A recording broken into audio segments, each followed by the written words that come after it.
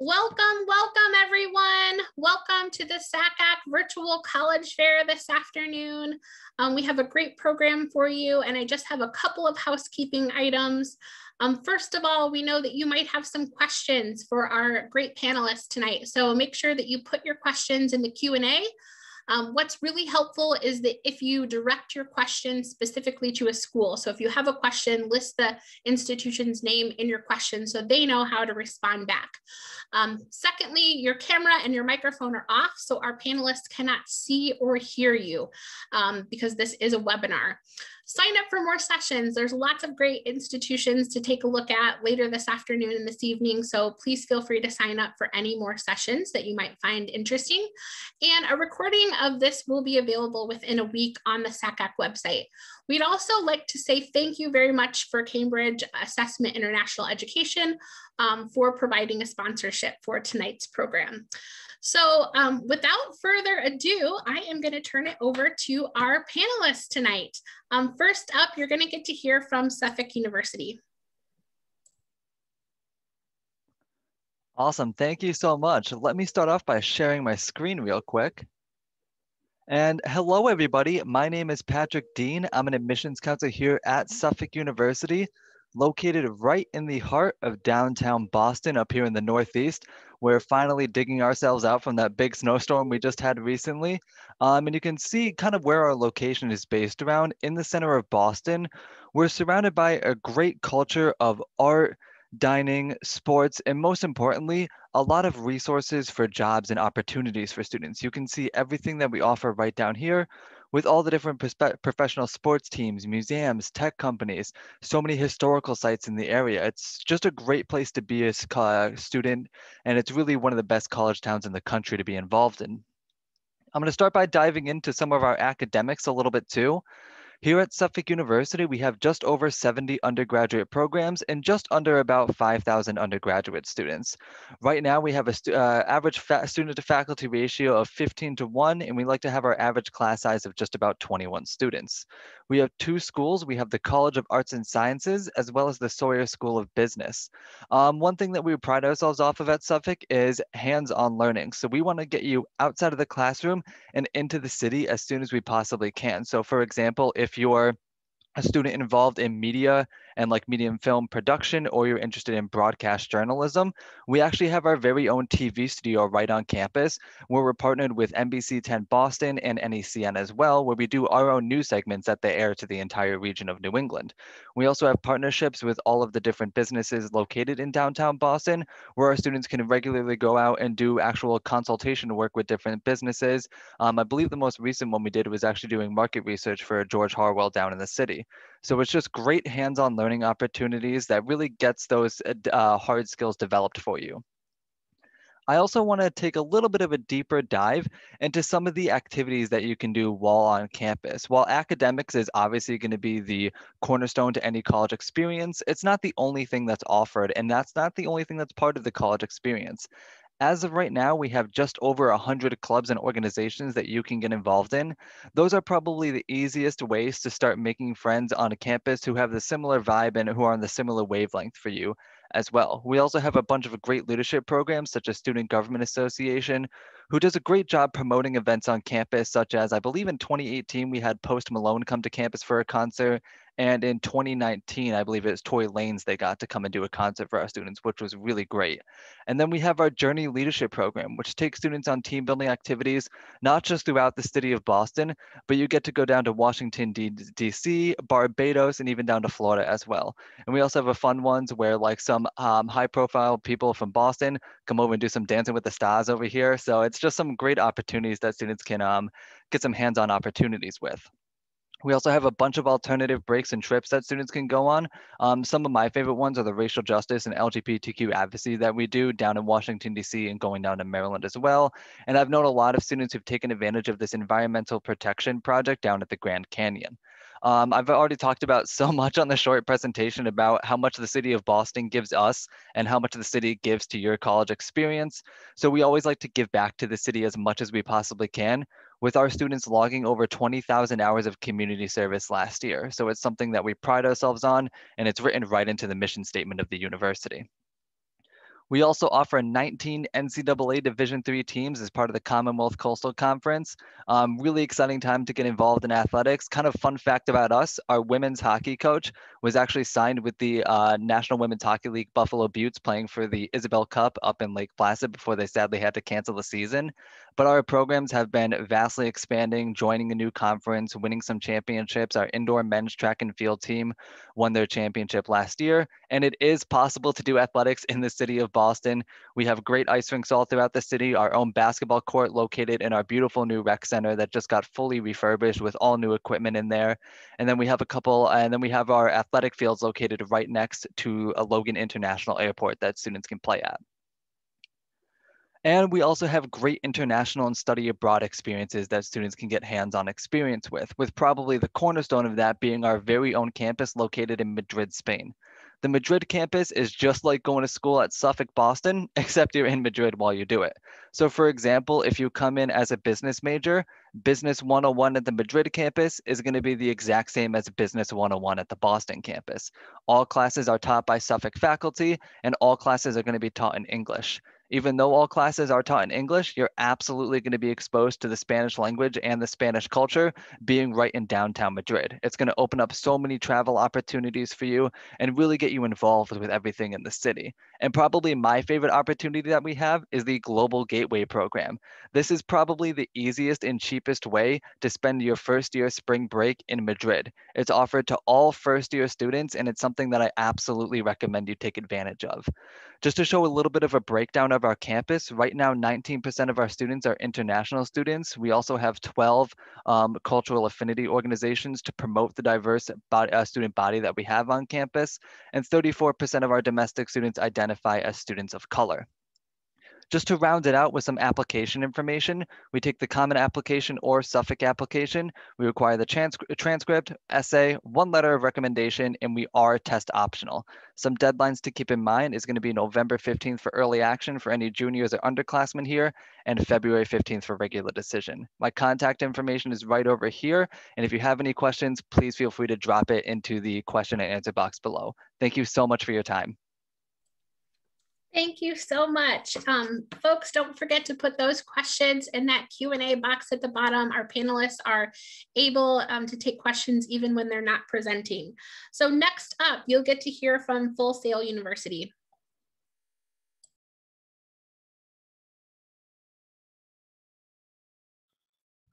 Thank you. What's up, everybody? Happy to be here this evening speaking with you. All right.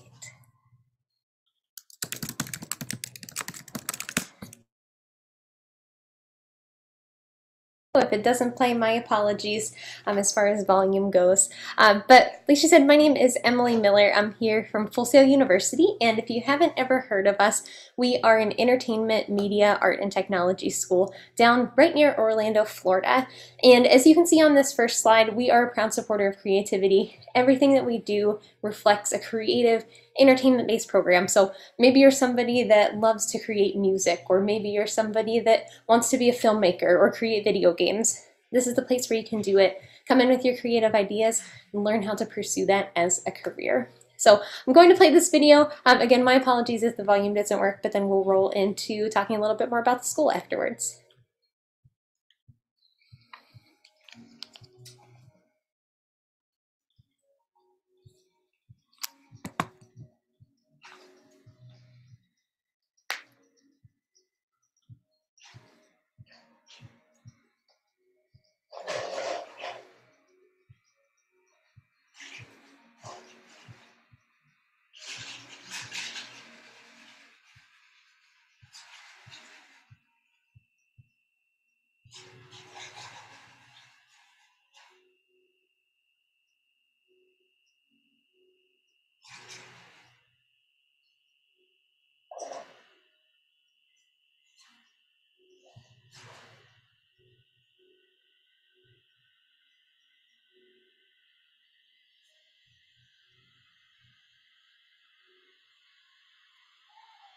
So as you can see, those are just a couple of quick facts about the school. Um, a little bit about our campus down in Orlando. It is a 210 acre campus with over 60 classrooms and under or over 110 different interactive labs and facilities where we do our hands-on interactive based learning. Um, and we currently have 54 bachelor's degrees program that we bachelor degrees programs, excuse me, that we offer in the following degree areas. Um, something that's really, really unique about our programs, just like the entertainment industry, is that a lot of these programs work hand in hand. So let's say you are a music student, you might be creating music for a video game, or maybe for a film, or maybe even for a commercial that one of our digital media students are creating. So they really interact and the people that you work with while you're a student might end up being the people that you work with out in the industry one day. Something just to let you know about is that Full Sail is taking every precaution that we can on our campus now that we are open. Um, all of our COVID precautions are um, CDC recommended. We have students on our campus that are wearing masks. We're doing six feet social distancing. Everything on our campus is sanitized whenever we have different classes coming through. Um, but you can read more about that if you go to our website, fullsail.edu slash coronavirus. A little bit more about our campus and our graduates. Our graduates go on to do some really, really cool things out in the industry. They worked on some big projects in the past year. They have worked on some really big ones, including The Last of Us 2, which won Game of the Year, and The Ghost of Tsushima, which won Best Digital Art uh, Direction at the 2021 Game or 2020 Game Awards. So you can see a couple more stats up here. We just had a couple, or 57 graduates that were credited at the 59th Grammy Awards this year.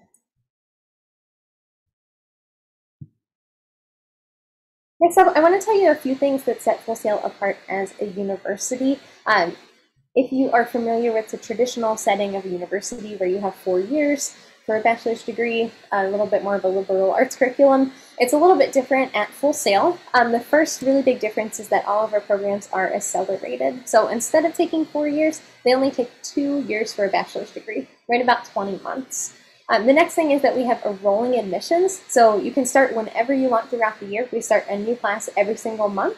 It's all depending on when you are ready to start, and when you are ready, we're here for you. We also have what we like to call real world curriculum. Um, Full Sail actually used to be called, instead of Full Sail University, it was Full Sail, real world learning.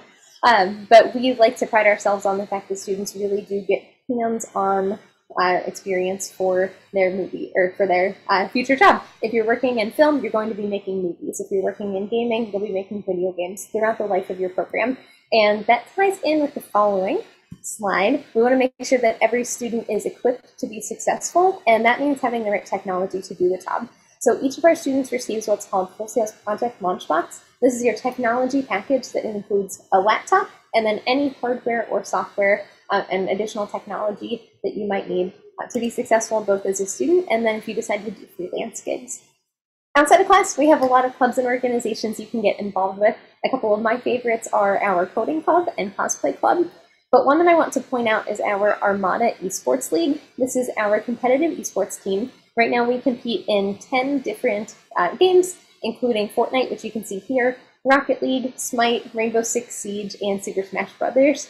So um, very exciting. If you are a student that is a gamer and you're good at it, you can always try out to be part of our team and come to campus and play in our Fortress, which is the largest collegiate esports arena in the United States. So we're very proud about that and very excited. So if you are somebody that thinks Full Sail might be a good fit for you, a couple of things. You can reach out to me. My email's right behind me, elmiller at fullsail.com with any questions. Um, another thing to do would be to check out one of our behind-the-scenes tours. It takes about three hours, and this is a full campus tour. Then you go into a breakout room based on your program of interest and get to hear from professors and current students. Um, you can also check out our scholarship guide and see if there are any you qualify for. If you are a senior, I highly recommend checking out our Creative Minds program, which is up to $25,000. And you can, if you are interested in receiving more information, you can scan the QR code here. And again, my email is elmiller at fullsail.com if you have any further questions. So thank you, and thank you, Courtney, for having us this evening. Hope everyone has a nice night. Thanks, Emily and Full Sail. Um, next, you get the opportunity to hear from Tara at Muhlenberg College. Hey, everybody. Welcome to Muhlenberg College. Students choose Muhlenberg and faculty are committed to Muhlenberg because we are a community of learners who want to develop new skills, to stretch our imaginations, and to challenge existing beliefs. Muhlenberg is known for and proud of our community. Oh, oh, I can move that, okay. While these are the numbers that you see on the screen at Muhlenberg, our students are individuals who come together to form a community. Our students are creative, they are curious, they are kind, they are resilient. Other numbers that you could that you could see on this screen could be that 60% of our students study away at least one time before they graduate, choosing from over 160 study away options, and 30% of our students double major. We're recognized in the rankings for best value, best food, Best Theater, we've earned gold for being green and an A plus grade from 538 pollster ranking. And our students have been honored for their engagement in the community. We are the Mules of Muhlenberg. Our student athletes play in the Division III Centennial Conference and have won more than 33 conference championships since 2000. While we are small in population, we are big on opportunities and mentorship at Muhlenberg. We are located in a suburban part of Allentown. This is in the Lehigh Valley. Um, we are 20 minutes to the totally awesome Lehigh Valley Airport, 10 minutes to downtown Allentown, Pennsylvania, one hour to Philadelphia, and two hours to New York City. Fun fact, Allentown is the third largest and the fastest growing city in Pennsylvania. Our location in the Lehigh Valley lends itself to opportunities for our students to learn, to grow, to do outside of the classroom. This could be a part-time job or an internship with a minor league sports club, shadowing or doing research in the Lehigh Valley Health Network, going to museums, amusement parks, symphony halls, Target, um, we are a traditional liberal arts college. Popular majors that students identify on their common application, on their first year application is business, theater, biology, psychology. My absolute favorite is undecided. We do also offer public health, Growing in popularity among first year applicants is also neuroscience and computer science.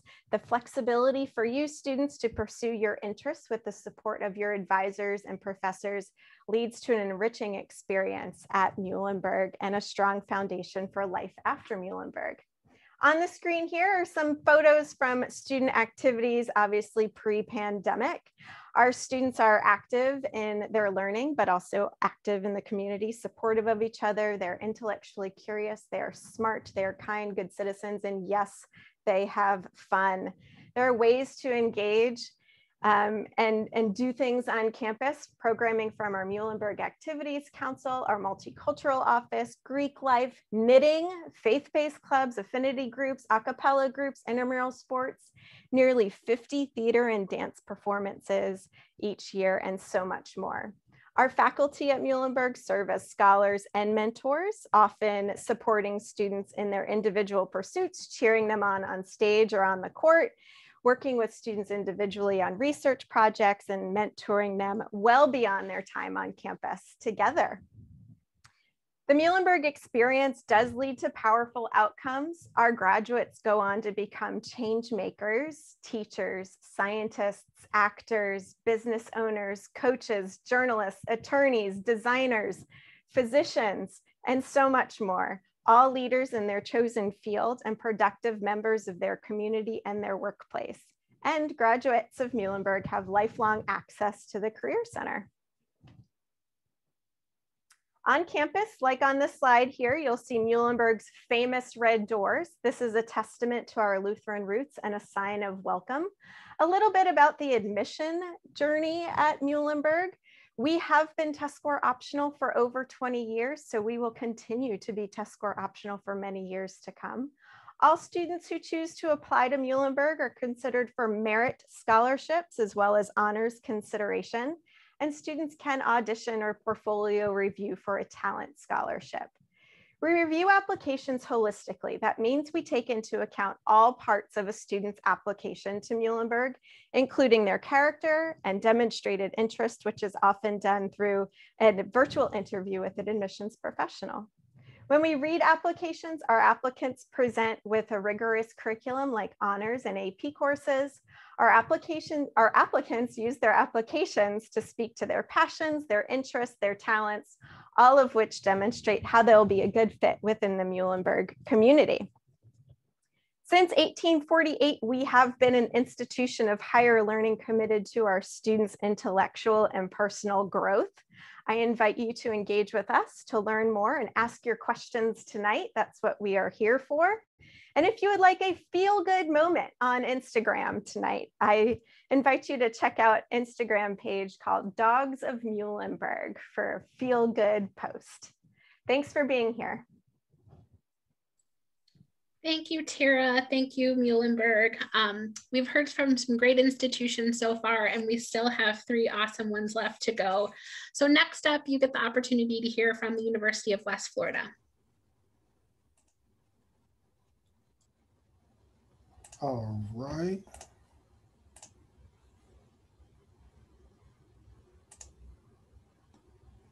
All right, I hope everybody can see the screen. Um, so uh, my name is Nate Benton Jr. Uh, I am with the University of West Florida. Great to be here with you all today. Uh, thank you very much for coming out. Um, so if you do not know where UWF is located, we are located in Pensacola, Florida. Uh, we are in, in the westernmost city uh, in Florida and we are in central time zone as well. Uh, it took me about about about a week, week and a half to get used to it. I'm originally from South Florida. Uh, it wasn't too bad uh, at all. Uh, in Pensacola, we are home to uh, a top four U.S. beach uh, as voted by TripAdvisor. So, uh, you know, you're stressed after class on Tuesday, definitely take a stroll out to the beach and just relax a little bit. Right. So we do have a big campus, smaller class sizes. Uh, we have 70 plus undergraduate degree programs for you to choose from to go along with 60 plus minors as well. Uh, we are just under 13,000 students at UWF around 12,800 plus. Uh, and we do have smaller class sizes on average for your freshman and sophomore year. There will be uh, 28 students in your class. When you get to your junior and senior year, that will shrink to about 15 to 25 students uh, in your class. Uh, so you're able to have class outside like this and really uh, have a personal connection with your professor. Um, they understand the nature of small classes and how um, you know developing those interpersonal relationships are key when it comes to your learning. Uh, the Argo Life, uh, as we call it, um, we do have on-campus housing from your freshman year all the way up to your senior year. Uh, we have upperclassmen housing as well once you hit that junior and senior year. Um, it's very easy for you to get involved on campus um, in one of our 150 plus student organizations. Um, these organizations are uh, academic in nature, um, you know, recreational, whatever you're looking to do. Uh, if you want to start the SpongeBob Club, barbecue club, whatever it might be, um, you can start that on campus um, and then host events uh, like this one that you see right here, hosted by our campus activity board. Uh, we are we do sit on 1600 acres. Most of that is dedicated to the uh, wildlife sanctuary that we are built next to.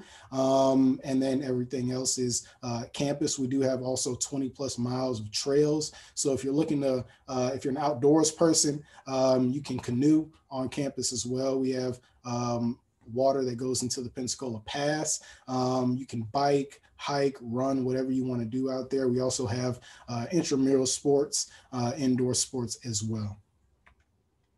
All right, uh, our Argo Athletic Band is uh, new. So if you are in the band at all, you can be a part of that. Uh, they play at all of our home games. And uh, you also have the opportunity to be in any orchestras we have. We have a choir on campus, uh, theater as well. Uh, if you're interested in that, you do not need to major in theater to be in any plays.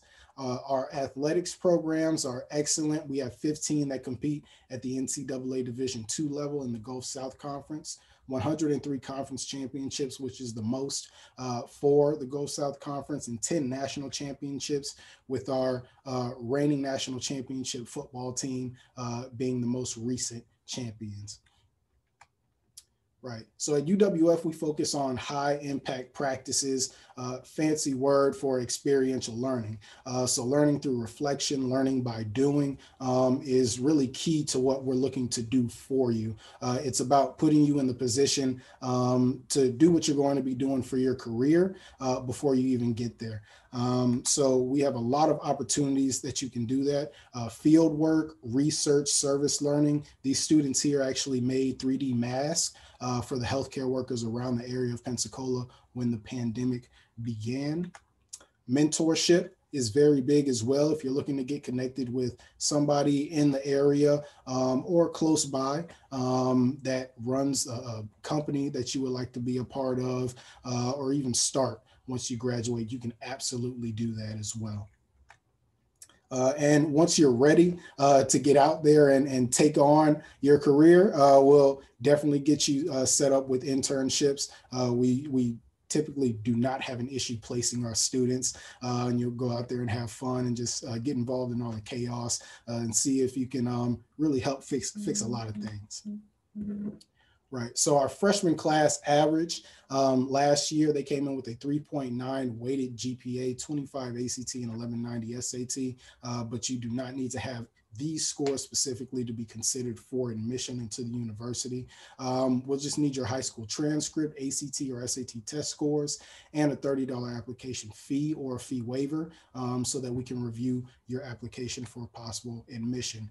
ACT and SAT test scores, we take either or. Um, so you don't have to take both, and we do super score as well. We'll also accept dual enrollment credits, uh, AP, IB, ACE, anything you have. Um, and please complete your FAFSA. Uh, I would tell students this all the time. You don't know what aid you could possibly receive um, unless you're Jeff Bezos's kids. Um, but uh, just please fill out the FAFSA uh, because you can possibly receive something. We also have our automatic consideration scholarships as well that you would be eligible for. And we have virtual tours and events um, where you can learn more information. Uh, you can speak with me more and then uh, the rest of our admissions team as well. Uh, so thank you all very much. Really appreciate it. Uh, yeah, that's it. Hey, thanks to you and the University of Western Florida to, to show some sunshine on this February day.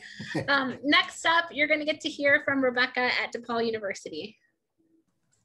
Everybody. Thanks so much for um, being here. I'm also going to start sharing my screen um, with you all. And I wish I could tell you that I'm sharing sunshine. I hope you'll probably see some in our videos, but um, I definitely want to um, let you know that it is freezing cold here, as many of our other schools have shared, right? We just um, picked up from a um, snowstorm. So continues to snow here in Chicago. We get all the seasons, which we'll definitely talk about um, in just a few minutes. So just to kind of share some information um, about the institution, this is just some general, um, I think when students are looking at institutions, right, they want to know all of the praises that schools have received.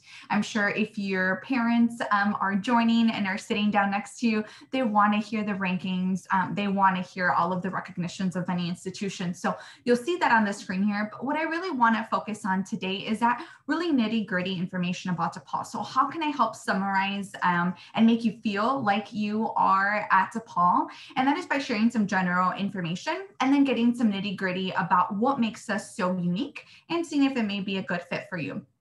We're founded in 1898. We're named after St. Vincent de Paul, and we are the largest Catholic university in the nation. Now, by no means do you have to be Catholic. We focus on our Vincentian personalism, and that means that when you come to DePaul, that you are not just a number. You are a student who is going to be a part of a larger community. You're going to feel uh, part of the community right away, even though we are more of a medium to large school. We have about 23,000 students, 16,000 undergraduates, so more medium to large large, but our average class size is anywhere between 15 to 20 students. So you are going to get to know your professors, you're going to get to know your peers, and we welcome you in, an environment where you may challenge one another. You might find students from many different walks of life that look like you, maybe have similar experiences, and those that are very, very different and completely different. And in a way that we see that is in our student body. So this is just a quick snapshot of our student body, our average GPA. And one thing that I do want to draw your attention to is to our feeder states. Now, for my students, I get it, East Coast, you want to see like, hey, why isn't my state all in blue? It needs to be a top feeder state. That's my responsibility. I want to welcome you um, to DePaul. And we've seen an increase um, in our East Coast students, um, reason why we also have a regional in several of the states in our East Coast, in the East Coast area. But I also want to draw your attention to that first year retention. So as much as today we're going to talk about DePaul and you know that recruitment side of things, hoping that DePaul's a good fit for you, it's also about making sure that you find an institution that is going to do all of the things to keep you there and ensure that you graduate and you're very prepared for the next four years. Now, in a time uh, like right now, Chicago, that's still in a weird phase of an in between phase one, phase two, due to all the COVID guidelines.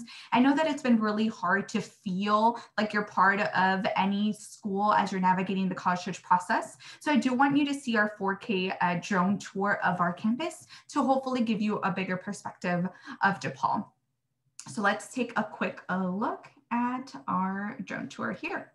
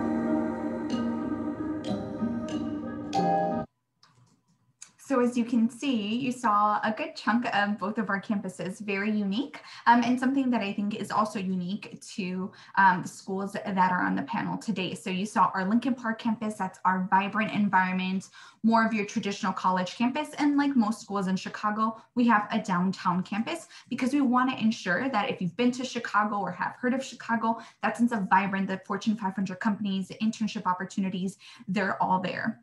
At DePaul, we have over 300 different academic programs. So when you come here, we want to ensure that as a liberal arts institution, you are able to take advantage of a wide range of academic programs. So although you may have an idea of exactly what you want to study, that's going to be your academic area within that college, many of you might be completely undecided. So you might look at a school like DePaul, a liberal arts city school, that's going to give you the opportunity to dip your toes in many different areas. So let's say you're interested in any of our top programs, which you'll see listed here, film and television, ranked 11th in the nation, health and science, or maybe it's marketing. Maybe you don't have an idea of what you want to do. Know that you can take classes in all our different schools and colleges, even if you are specializing in a particular area.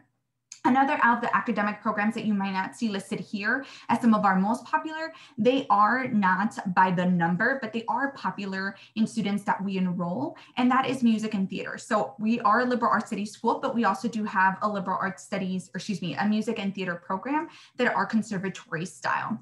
We're a medium to large school. As I mentioned, we are a four-year private school. And so I tell students, many students that are looking through their college search process right now, uh, that sticker prices, uh, obviously coming from an out-of-state perspective, sometimes you look at that and you might be wondering, okay, what is a $40,000 education really going to get me? Now that is before financial aid, as many of us have shared, but something that I do want to share with you is that experience, right? The value of the institution. We have our own career center that models their expertise out of career community. So let's say you are a student interested in marketing. That doesn't mean that the long-term goal is getting you a job within marketing. Maybe that's one of the transferable skills that you want to obtain in a different career area or career path.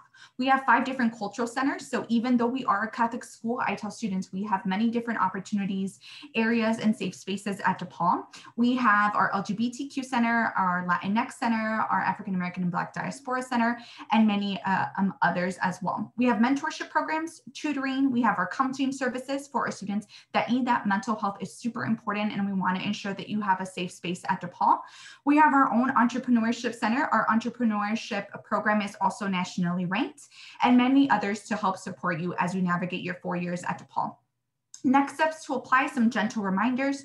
We're an early action school. We're part of the Common App. Our deadline is November 15th, and we've been test optional for many years as well. So we do not require your test scores, um, and that is going to really give you an opportunity um, to be a part of DePaul. And then this is just my contact information. Thank you so much, Courtney. Thanks, Rebecca. I know that that six minutes goes by so super fast.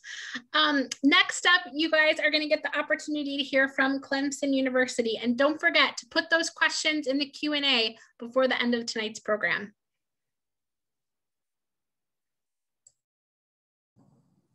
All right. Good evening, everyone. My name is Brennan Ledford. I'm an admissions counselor with our undergraduate admissions office at Clemson University. If you will focus on the picture here on the screen, this will give you a small introduction to what our campus looks like. Clemson's going to be set up like a target with the library right in the middle. It's a very walkable campus. It only takes 15 minutes to walk from one end of campus to the other. Stepping foot on campus really allows you to take in what that small college town feel is. I am going to start us off with some admissions information and then back up into some more broad Clemson information. If you have any questions, I have Morgan in the chat answering questions along the way.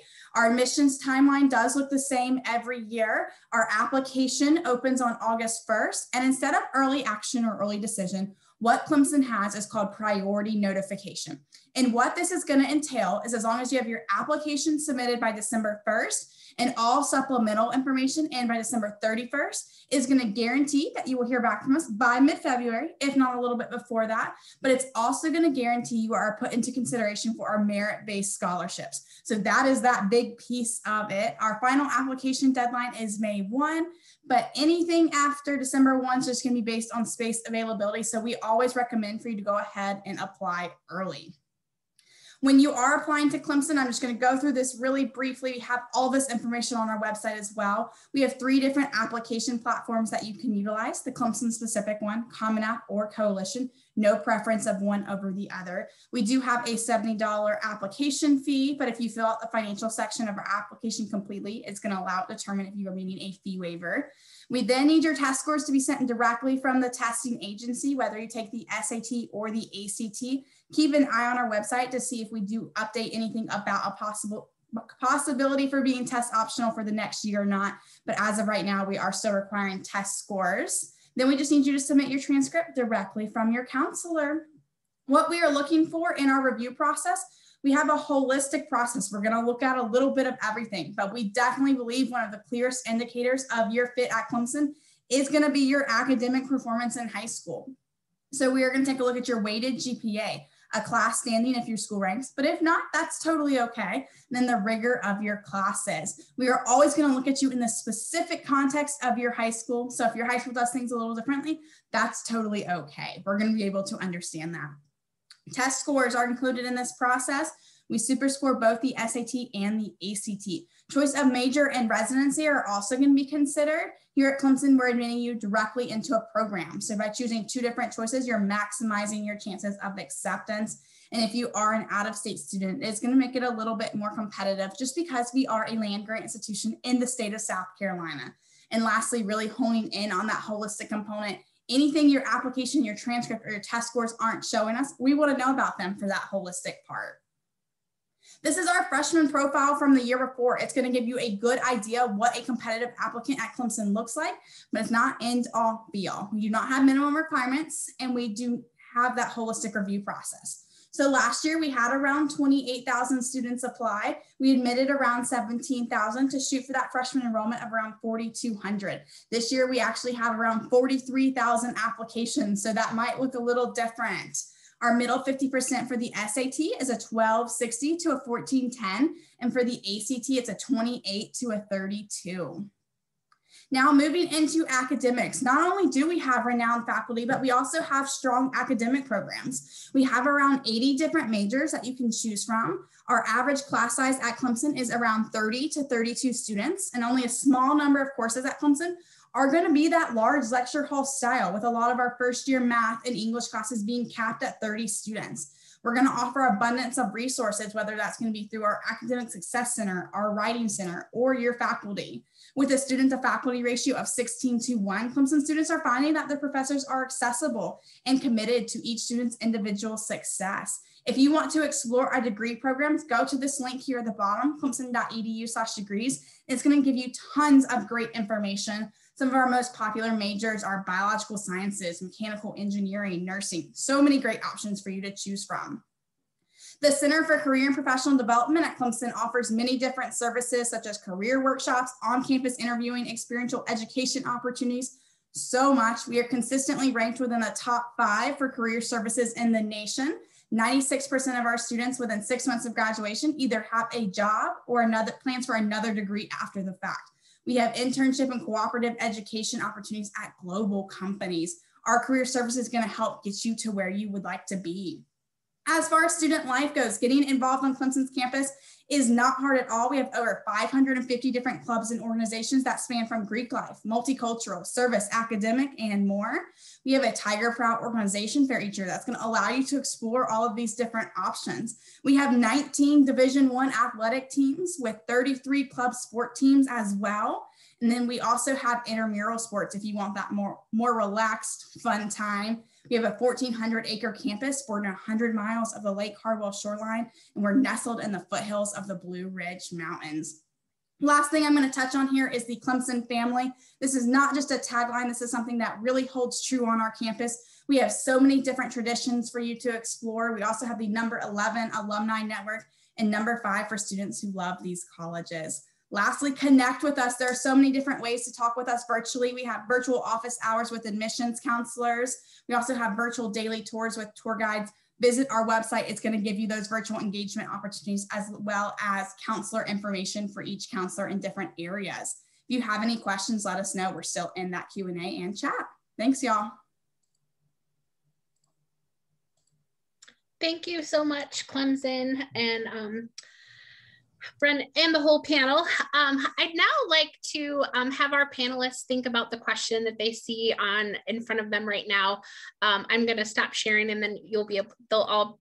You will be able to see all of their faces, but I would like to ask them to share with the audience what advice would you give someone going through the college search process?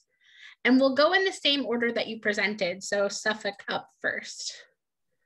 Yeah, that's a that's a really good question to bring up. Um, the probably biggest piece of advice that I give to any student going through the college search process is doing something exactly like you're doing right now, looking at a wide, diverse range of schools, applying on schools that are definitely like schools that you know you can get into schools maybe a little bit outside of your profile depending on what your academics look like. Same thing for affordability too and also apply to schools all over the country too. You never know if you're going to like a school in boston or like a school in florida.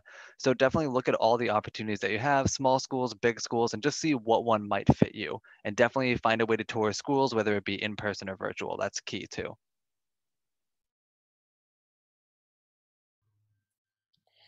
So, just kind of piggybacking off of that, my first thing that I was going to say is tour, tour, tour. Um, I'm a huge advocate for touring schools. It's the best way that you can learn and see the campus. And thankfully, a lot of campuses are opening back up now, at least offering tours in small groups or broken up groups. So if you are a junior or a senior or even a, a underclassman, do your best to get to a campus and check it out and kind of get to know the lifestyle and also apply for any scholarships you can that would be the next most important, in my opinion.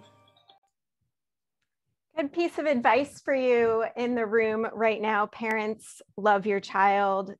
Children, hug your parents. Don't let the college exploration become part of an everyday conversation. It is part of your experience, not your whole high school experience right now. And secondly, be open to schools that you may not have heard of before. There's over 3,000 colleges and universities out here. Check them out. We're glad you're here today. Hey, uh, yeah, I, I, would say be open. Um, to all schools. I, I, came from South Florida, and uh, when I first heard about UWF a while ago, uh, I'm not going to date myself. I feel old now. Uh, but when I first heard about UWF a while ago, I was like, ah, never, not in my life. Uh, and, you know, I work here now um, and I love it. So uh, just be open. That, that school that, that's kind of tugging you, that you're kind of thinking about every so often, just take a look at it a little deeper. Yeah, I would say my, my piece of advice, and so grateful that um, students are joining us. And if you have your parents or whatever support system um, is there for you, I think a lot of times we think of the college search process as, you know, these fairs and reaching out to your counselors, whether that be your high school counselor or your admission counselor, like we are. Um, I think that it also takes a little bit of soul searching. Give yourself some time to learn about yourself, build a list of needs versus wants, um, and really think through who you are as a student, right? Do you thrive in a smaller environment? Environment? Do you like that your high school is small or that your high school is really big and there's students from all over? Or do you like that there's students from your community and you want more of a smaller environment?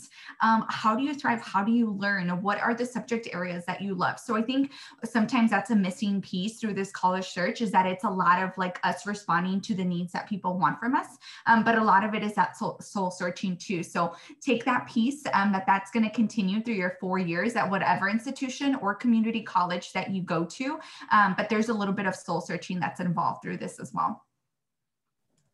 Absolutely. I'm just going to echo what everyone has already said. Take advantage of the virtual opportunities that are brand new for you. A lot of schools have never done this before. So they are letting you branch out and check out a lot of different schools and also reach out to your dedicated admissions counselor. That is what we are here for. We are here to answer those questions and help you with whatever you might need.